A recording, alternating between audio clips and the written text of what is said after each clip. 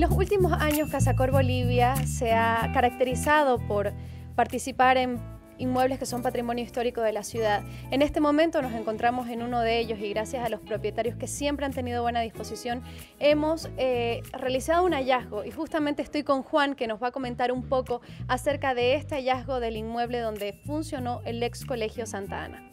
Indagamos un poco y, encontramos eh, realmente que había un arco de descarga en un sitio que, bueno, hemos ido excavando y al final hemos nos hemos dado cuenta que hay una cámara subterránea ahí. Juan, ¿y tú qué indicios tienes de qué puede llegar a ser esto? Hemos indagado pensando que era la red de escapes o que fue una cámara para esconder en, los momentos difíciles de la historia. Es muy probable que esto fuera una bodega donde almacenaban para todo el año el vino que distribuían para todas las parroquias de la diócesis. Eso es un poco lo que ahora podemos interpretar.